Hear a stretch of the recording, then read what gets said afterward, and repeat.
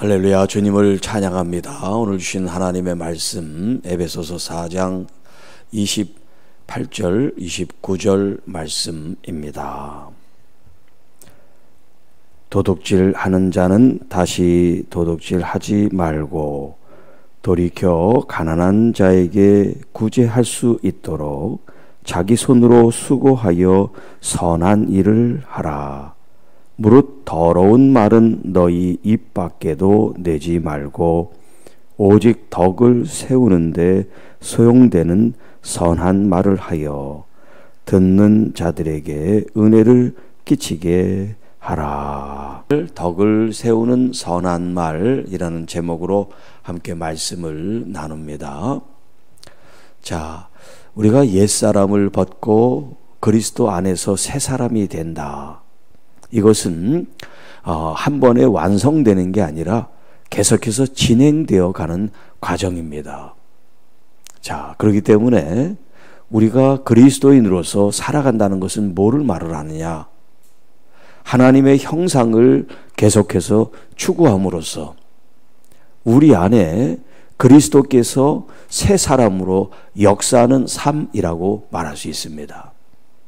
지난 시간에도 말씀드렸지만 이새 사람으로서 어떤 삶을 살아가야 되나, 새 사람의 특징이 무엇인가, 새 사람은 어떤 색깔을 가지고 있는가.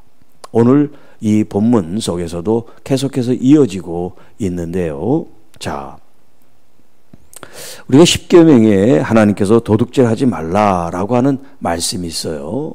그런데 우리가 이제 도둑질하면 전문적으로 도둑질하는 사람만 이렇게 생각하기 쉬워요.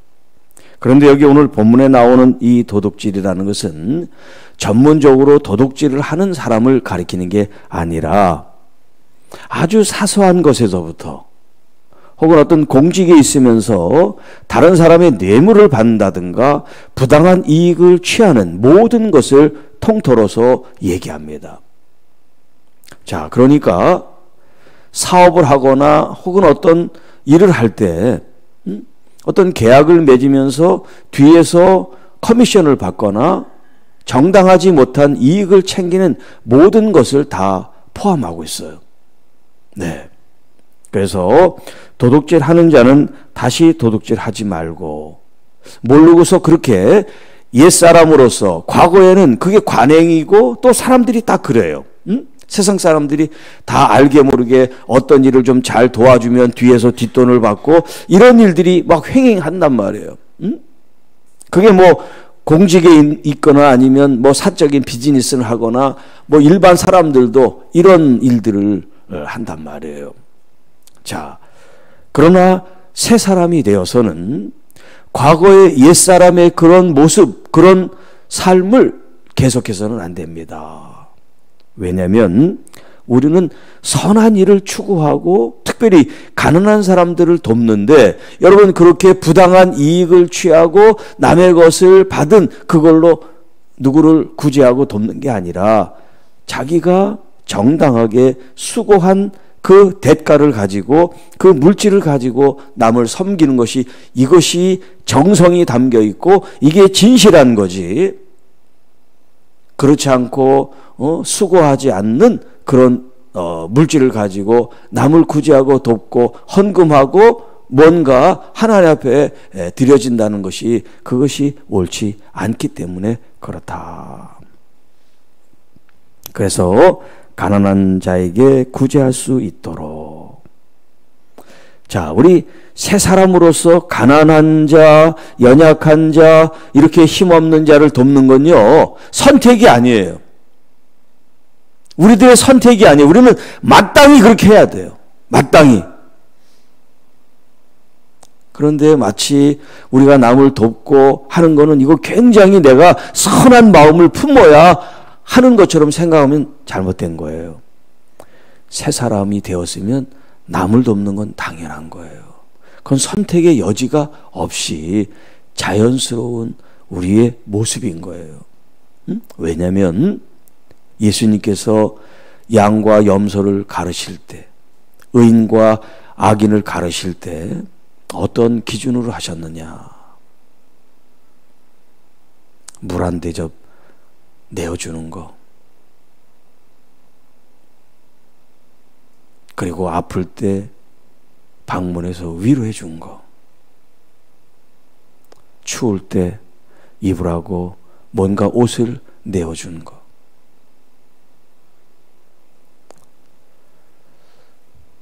이런 일들이 주님께 한 일이다. 음? 우리는 주님께 한 게 아니라 그냥 불쌍한 사람 조금 도운 거예요. 무슨 뭐 엄청나게 도운 것도 아니에요. 무슨 불안디집이 뭐 얼마나 되겠습니까? 어? 내가 입던 그 옷 나눠주는 게 무슨 뭐 몇십만 원씩 뭐 보내는 게 아니잖아요. 아주 사소하고 작은 일인데 주님이 그건 나에게 한 거야. 그렇게 말씀하셨어요. 그리고 염소와 이 악한 사람들은 그것조차 하지 않았어. 나는 나, 너는 너. 네가 아프든 말든 가난하든 나랑 무슨 상관이 있어. 그렇게 지냈다는 거예요. 여러분 잘 생각하세요. 믿는다 하면서 인색한 사람들 정말 하나님 앞에 예물을 드리거나 가난한 사람들을 돕는데 전혀 주머니를 열지 않는 사람들 이런 사람들은 아직 새 사람이 된 게 아니에요. 옛 사람에 아직도 머물러 있는 거예요. 새 사람은 주님의 마음으로 주님의 심장을 갖고 사는 사람들이에요. 물안 대접 한다고 나 경제적으로 망하는 거 아니에요. 돈 문제가 아니라 마음의 문제예요. 마음의 문제. 응? 내가 정말 예수님의 그 마음을 품고 있느냐? 내 아직 옛날 어? 욕심꾸러기 내 이 옛자가 계속해서 지금도 어? 내 마음을 내 삶을 주도하느냐 그 문제지 금전 문제가 아니에요. 자, 그다음 29절에 이제 말 언어에 대한 교훈을 하고 계신데요. 자, 옛사람은 더러운 말을 했어요. 더러운 말. 여기 이제 더러운 말이라는 이 더러운이라는 이 에, 헬라어가 사프로스라고 하는 이제 단어를 쓰는데 이 사프로스라고 하는 이 더러운이라고 하는 이 헬라어에는 뜻이 굉장히 많아요. 이 더러운이라고 하는 이건 그냥 한 하나고 그 외에 여러 의미가 있는데 아 이제 대표적인 게 뭐냐면 무익한 음? 쓸모없는 가치 없는 부패한 이런 의미예요. 이 어, 사프로스라고 하는 이 단어가. 그러니까 여러분 우리가 말을 할 때 쓸때 있는 말을 해야 되고 가치 있는 말을 하고 참된 말을 하고 좋은 말을 어, 하라는 거예요. 과거에는 더러운 말, 나쁜 말, 선하지 않은 말, 어? 쓸모없는 말, 뭐 생각하고 싶지 않은 말, 상처 주는 말, 어? 무익한 말, 썩어져 버릴 말 이런 말들을 했다면 이제 새 사람으로서 우리는 선한 말을 해야 되는데 이 선한 말이 뭐를 어, 위해서냐면 바로 이 교회 주님의 몸을 세우는데 여기 이제 덕을 세운다 이런 표현을 썼죠. 또 이제 다른 이제 그 서신들 어 뭐 로마서나 또 고린도전서나 이제 은사 얘기할 때도 방언은 자기의 덕을 세우고 예언은 교회의 덕을 세운다 할 때 덕을 세운다는 그런 표현이 많이 있어요. 음? 우리가 이제 보통 교회 덕을 세워라 이런 표현을 많이 쓰죠. 그런데 이 헬라어는 그 앞에 덕에 이 표현되는 헬라어가 없어요. 그러니까 그건 번역을 그렇게 해놓은 거예요. 덕을 세운다. 음? 이 원문에는 그냥 집을 세우듯이 세운다라고만 돼 있어요. 앞에 덕이라는 표현이 없어요. 그러니까 사람 이제 번역할 때 하나 이제 이해를 위해서 덕을 세운다라고 이렇게 번역을 한 거예요. 음? 나를 세우고 교회를 세운다 이렇게 표현이 되어 있어요. 그리스도를 세우는 어, 이제 세운다라고 할 때. 음? 세운다라고 할 때는 뭐 우리 자신도 세우고 공동체도 세우고 믿음도 세우고 뭐 많은 것을 세울 수 있어요. 그 앞에 무엇을이라고 하는 이 목적어에 따라서. 그런데 여기에는 덕이라는 것을 붙였지만 신앙생활에 있어서 교회 지금 교회론에 대해서 쭉 얘기를 하고 있잖아요. 교회. 교회 가장 중요한 것은 누구냐? 머리 대신 그리스도고 그 다음에 이 몸을 이루는 우리 한 사람 한 사람 지체들 우리 우리들이 지금 한 몸을 이룸에 있어서 우리가 거짓말을 하면 우리가 서로 지체 공동체 한 몸으로서 안 됩니다. 지금 이 시간에 28절 9절에 음? 우리가 음? 도둑질을 하는 것이나 또 혹은 더러운 말, 나쁜 말, 악한 말 이런 것은 공동체를 해치기 때문에 한 몸으로서 이제 더 이상 새 사람이 된 한 몸으로서 우리는 그것을 제거하고 오히려 덕을 세우는데 교회의 덕을 세우고 그리스도의 영광을 세우는 데 있어서 우리는 선한 말을 해야 됩니다. 선한 말. 여러분 우리나라 선조들이 아주 지혜로운 말을 남겼어요. 말 한마디에 천장빚을 갚는다. 놀라운 말 아닙니까? 음? 말 한마디에 백만 원이 탕감이 돼버리는 거야. 말 한마디에. 그게 말이 얼마나 중요해요. 그래서 말을 온전하게 하는 사람이 없다. 그렇게 얘기할 정도로 이 말의 문제가 아니라 사람 마음의 문제란 말이에요. 마음의 문제. 응? 아, 내가 왜 그런 말을 했을까? 그런 생각이 들 때가 있죠. 하고 나서 보면 그게 내 마음에 쌓여 있는 무언가가 나온 거예요. 그런데 후회하는 말들이 어떤 말이에요, 주로? 남을 칭찬하고 용기를 주고 선한 말을 했을 때 후회합니까? 아니잖아요.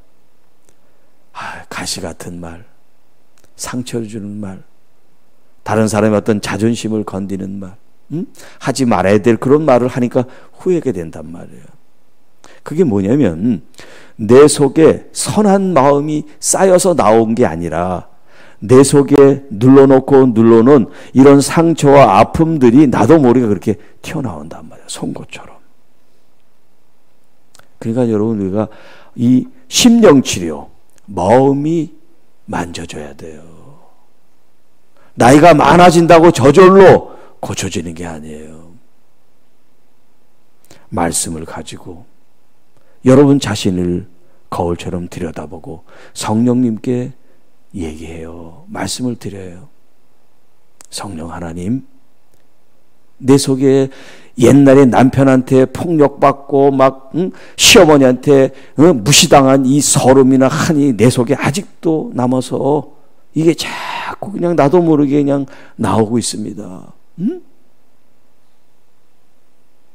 이런 토설 고백을 통해서 여러분 처음에 이 심리치료 할 때 어떻게 하냐면 그 대상이 없지만 대상을 생각해서 하고 싶은 말, 욕, 욕하고 싶은 거 다 쏟아내라고 그렇게 얘기를 해요. 응? 심리 치료를 할 때. 사람이 없으니까 의자를 딱 두 개를 놔요. 그래서 이제 당사자, 그리고 의자, 빈 의자에는 상대방, 거기 시어머니든 아니면 남편이든 뭐 하여튼 뭐 죽일 X 딱 앉혀. 상상으로. 그리고 그 사람한테 퍼붓고 싶은 거 다 퍼부! 예. 네. 뭐 옆에 있는 거 가지고 뭐 어? 때리고 싶으면 때려 그렇게 이제 해요. 그래서 해소를 시켜. 이건 이제 세상의 심리 치료적인 방법이지만 우리는 신앙생활하는 새 사람이 됐잖아요. 그런데 응? 믿지 않는 사람이 하는 그런 똑같은 방법을 하면 안 되지. 우리는 성령님께 내 마음, 내 아픔을 다 드리는 거예요. 그리고 실컷 우세요. 그리고 잠잠히 기다리면 성령님이 예수 그리스도로 나타나셔서 여러분들을 품어주시고 과거의 그 아픔을 씻어준단 말이에요. 그런 경험들이 여러분이 치료가 되는 거예요.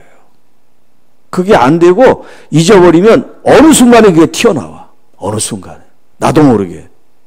그래서 이 말이 남을 상처를 입게 하고 남을 쌀쌀 맞게 대하고 응? 이제 좋은 관계가 됐다가 한마디로 그냥 끊어서 절교. 다시는 안 봐. 네. 그런 일들이 우리의 일상 속에서 자꾸 일어나는 거예요. 자. 선한 말을 해서 듣는 이들로 하여금 어떻게 은혜를 끼치게 하라. 이것이 하나님의 형상으로 지음받은 새 사람이 마음으로 입으로 내야 될 은혜 말이다. 그래서 하는 말마다 상대방이 고마움을 느끼고 행복을 느끼고 그리고 그 한마디에 내가 치료가 된 것 같아. 내가 인정을 받는 것 같아. 내가 존중을 받는 것 같아. 배려를 받는 것 같아. 환대를 받는 것 같아. 얼마나 좋아요. 돈 안 들잖아. 여러분 돈 내는 거 싫어하잖아. 그러니까 말로 해, 말로. 어? 돈 내기 싫은 사람 말로 해, 그냥 말로. 근데 말이 안 돼요. 돈이 잘 나가는 사람은 말도 잘 되는데 돈이 안 나가는 사람은 말도 안 나가. 이게 참 이상하죠? 마음의 문제이기 때문에 그래요. 돈 문제가 아니에요, 여러분. 마음의 문제예요. 응? 오늘 가서 여러분 마음을 한번 잘 들여다보세요. 내가 이렇게 응? 인색한가? 이렇게 뭔가 응? 관용과 베풀고 선한 마음, 이렇게 좀 훈훈하고 넓은 마음이 왜 내 속에 없지? 한번 잘 한번 생각해 보세요. 그 원인이 뭔지, 어디서부터 잘못됐는지. 응? 그게 여러분 탓이 아니에요. 여러분 부모 때부터 그 할아버지 때부터 내려온 가풍이 있어요. 그 가풍이 마음이에요. 인색한 마음, 이웃을 돌아보지 않는 마음, 나만 생각하는 마음, 이기적인 마음, 편협한 마음, 실패감, 좌절감, 열등감 이런 것들이 나도 모르게 속에 내장돼 있어요. 그래서 지금 내 문제도 힘든데 남이 아픈 게 지금 들어올 리가 있나요? 남이 지금 가난하고 배고픈 게 나랑 무슨 상관이야? 나도 힘든데, 나도 죽겠는데, 이렇게 되는 거예요. 그러니까 여러분, 오늘 돌아가셔서 여러분의 마음을 만져주세요. 이제 괜찮아. 응? 다 지나갔어. 나 욕하는 사람 없어. 나 핀잔하는 사람 없어. 그리고 여러분이 여러분을 인정해주고 칭찬해 주세요. 그동안 고생 많았어. 그 서름, 그 모욕 다 이겨냈잖아. 너무 수고했어. 너무 대견해. 잘 참았어. 여러분을 위로해 주세요. 그리고 용기를 북돋아주고 격려를 하고 그리고 나는 옛사람이 아니야 이제 새 사람이 됐어. 그리스도 안에서 나뿐만 아니라 누구든 나를 통해서 그 사람들을 섬길 수 있는 마음이 생기도록 기도하세요.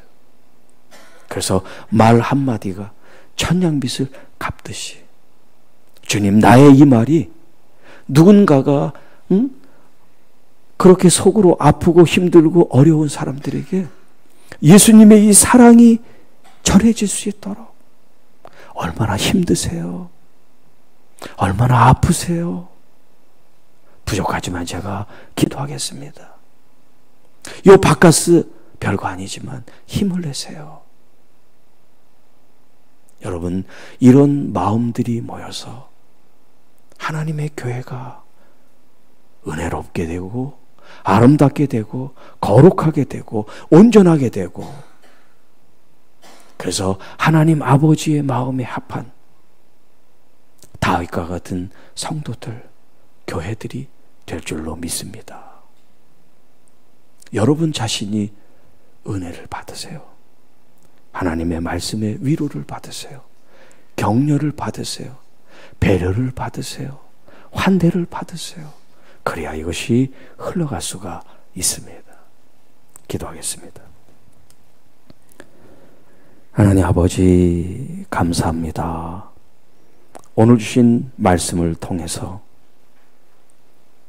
내 안에 쓴 뿌리, 나쁜 뿌리, 쓸모없고 버려야 될 것들로 쌓여 있다면 말씀을 통하여 성령님 보여주시고 깨우쳐 주시고 드러나게 하셔서 이것을 다 뿌리 뽑고 이제 내 속에 하나님의 의와 거룩 참되고 진리신 주님의 마음과 생각에 말씀이 내 속에 심겨져서 나 자신이 위로받고 치료되고 회복되고 성장하고 성숙한 건 말할 것도 없고 이제 우리가 흘려보내는 말 한마디 표정 하나에서 다른 사람이 힘을 얻고 위로를 얻고 격려를 얻고 배려를 얻고 환대를 얻는 그런 예수 그리스도의 참 사랑이 우리를 통하여 전해질 수 있도록 저희들을 사용해 주시고 또 오늘도 우리 주님과 함께하는 거룩하고 복되고 은혜로운 삶이 되게 하옵소서. 우리 주 예수님의 이름으로 감사하며 축복하며 기도하옵나이다. 아멘.